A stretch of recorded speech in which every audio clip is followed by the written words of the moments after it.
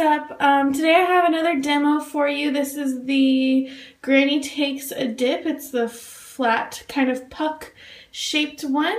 Um, it smells like lemon, ginger, and black pepper. And I heard it's pretty cool looking. So I just wanted to test it out for y'all.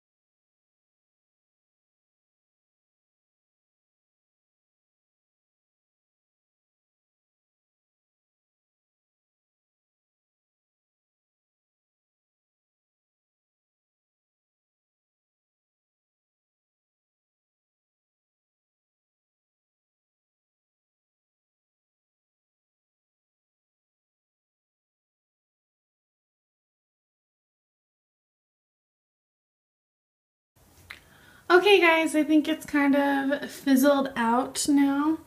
Um, that was cool. That was different than anything I've ever seen. And it really went around like the entire bath, if you can see. So, and it smells amazing the whole time. I'm like, oh my gosh, like this smells so good. I really, really pick up the um, black pepper and the um, lemon. It's just really amazing. And it's all really pretty fuchsia color. So yeah, I hope you enjoyed this video and I'm going to be doing more since I'm sure you've seen in my Lush haul that I got a ton of bath bombs. So I'm going to be doing a lot more of these demo videos and let me know if you, any specific ones you want to see and I will do those. So have a great day. Bye.